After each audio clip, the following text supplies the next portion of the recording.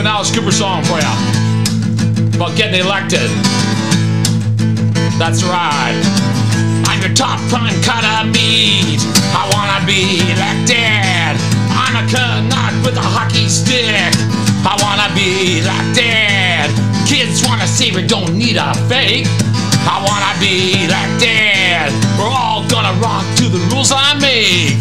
I wanna be elected. Elected,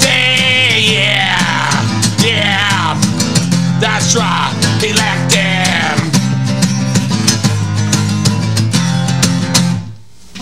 I never lied to you, always been cool.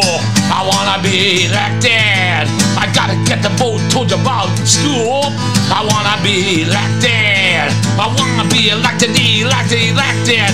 I wanna be selected. Everyone in British Columbia. I wanna be elected. Elected, yeah.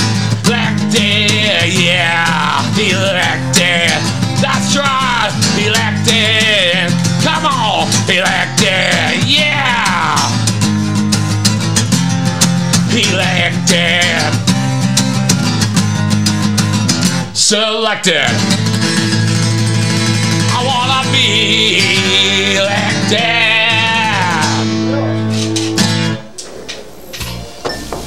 Hi, folks. Like I said earlier, that is BC's 130th anniversary since joining Confederation, being Canada's sixth province. But I want to you about British Columbia's first premier. His name was John Foster McCreight.